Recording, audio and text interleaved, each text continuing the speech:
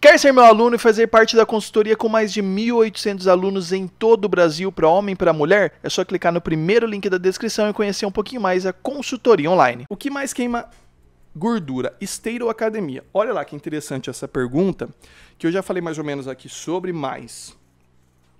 Galera, é legal você treinar é, esteira, fazer um cardio? Sim, vai ajudar no emagrecimento, está gastando caloria.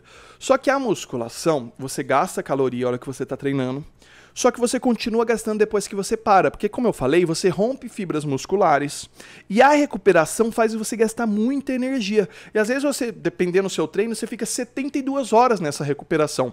Então, é, a musculação ela vai fazer você gastar calorias na hora e vai fazer você gastar calorias depois, na recuperação. E além de quanto mais músculo você tem, e quando eu falo músculo, não quer dizer você ficar gigante, é músculo. Você tem músculo no seu corpo, não quer dizer que você vai ficar grande vai fazer você gastar mais calorias. Seu metabolismo basal, que é aquilo que você gasta de calorias sem estar tá fazendo nada, vai aumentar. Então você vai emagrecer mais treinando musculação.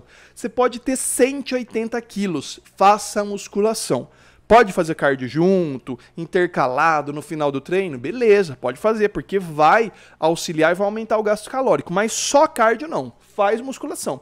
Se tem a opção de fazer só uma coisa, faça musculação tá? Vai ajudar você a emagrecer, vai ajudar você a ganhar músculo, vai ajudar você a ter uma saúde melhor e vai ajudar você a aumentar o seu metabolismo basal, gastar calorias é, sem estar tá fazendo nada, tá bom?